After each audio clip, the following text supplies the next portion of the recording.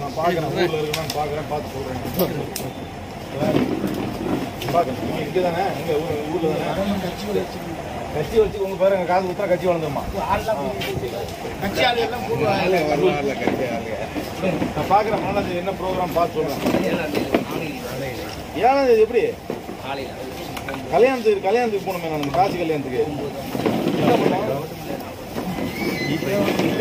முப்பது காலம்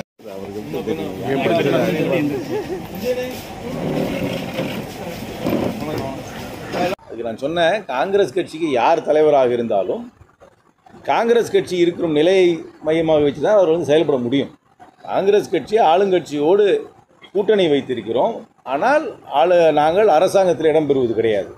அதே வேளையிலே நாங்கள் வந்து ஆளுங்கட்சிக்கு ஆதரவாக இருக்க வேண்டும். ஏனென்றால் அவர்களோடு நாங்கள் தேர்தலில் நின்று வெற்றி பெற்றிருக்கிறோம். இரண்டு தேர்தலில்.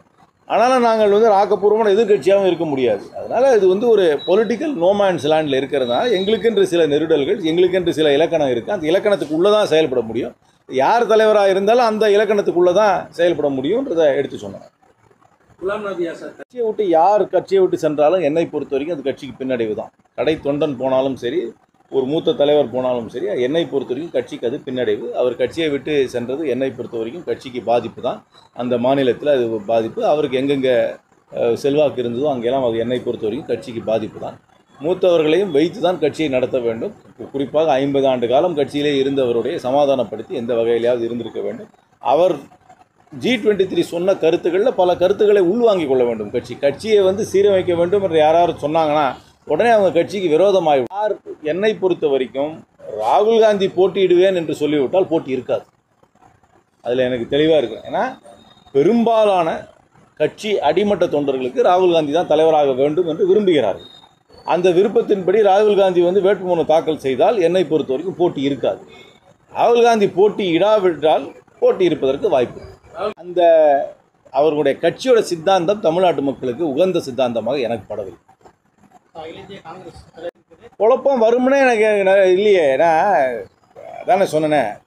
ஒரு ஆவரேஜ் காங்கிரஸ் அடிமட்ட தொண்டனை போய் கேட்டீங்க என்றால் யார் தலைவராக வேண்டும் என்றால் அவர் ராகுல் காந்தி தலைவராக வேண்டும் சொல்லுவார். அது ராகுல் காந்தி தலைவராக வேண்டும் என்ற அந்த விருப்பத்தை ஏற்று ராகுல் காந்தி வந்து வேட்புமனு தாக்கல் செய்தால் எல்லாருமே ஏற்றுக்கொள்வார்கள். குழப்பம் எதுவும் இருக்காது.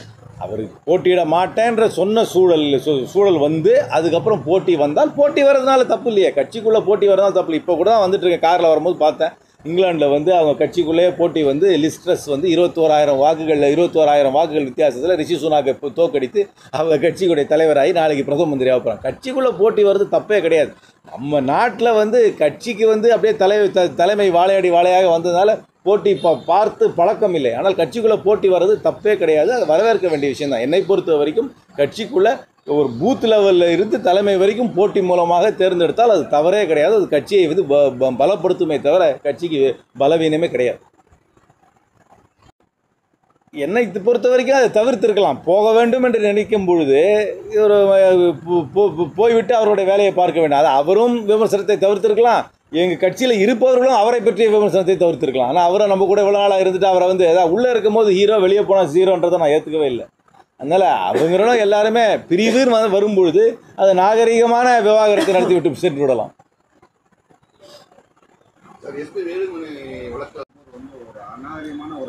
அதை நான் ஏற்கனவே அதை பற்றி நான் சொல்லியிருக்கேன். கருத்து வேறுபாடு இருந்தால் அது நாகரீகமாக கருத்துக்கோடு கருத்து மோத வேண்டுமே தவிர தனிநபர் விமர்சனம் கூடாது. இது இரண்டு பேருமே எனக்கு தெரிந்தவர்கள் தான். இரண்டு பேரும் இதை தவிர்த்திருக்க வேண்டும். இதை தவிர்த்திருக்க வேண்டும். இது வந்து ஒரு அரசியல் நாகரிகத்திற்கு உகந்தது அல்ல என்பதுதான் என்னுடைய கருத்து. இரண்டு பேருமே கொஞ்சம் டெக்கோரம் மெயின்டைன் பண்ண வேண்டும் என்று கேட்டுக்கொள்கிறேன். கட்சி தொண்டர்கள் அதிக அளவில் வரப்போகிறார்கள். நமது மாவட்டம் நமது பாராளுமன்ற தொகுதிகளில் கூட நிறைய பேர் போகிறாங்க அதே வேளையில் பொதுமக்களோடு நேரடியாக கட்சியும் கட்சி தலைமையும் கட்சி தொண்டரும் வந்து வந்து நேரடி தொடர்பு வர ஆரம்பிக்கும். இது என்னை பொறுத்த வரைக்கும் இது கட்சிக்கு பலம்தான் சேர்க்கும் பொண்ணுக்கு அதை டெபாசிட் தானே பண்ணுறாங்க பேங்க் டெபாசிட் தானே பண்ணுறாங்க அதை நான் வரவேற்கிறேன். அந்த மாதிரி டைரக்ட் கேஷ் ட்ரான்ஸ்ஃபர்ன்றது என்னை பொறுத்த வரைக்குமே ஒரு நல்ல விஷயம் அது. இது மக்களுக்கு நேரடியாக இது குறிப்பாக இன்றைக்கி இருக்கிற ஏற்றத்தாழில் நேரடியாக மக்களுக்கு வந்து பணம் அவர்கள் வங்கி கணக்கில் செல்வது என்பது என்னை பொறுத்த வரைக்கும் பொருளாதார ரீதியாக நல்ல யுக்தி. அதுவும் பெண் குழந்தைகளுக்கு நேரடியாக அவர்கள் அக்கௌண்ட்டில் போய் சேர்ப்பதை நான் முழுமையாக வரவேற்கிறேன். இதை வந்து அவர் தொடர்ந்து செய்ய வேண்டும் என்று கேட்டுக்கொள்கிறேன்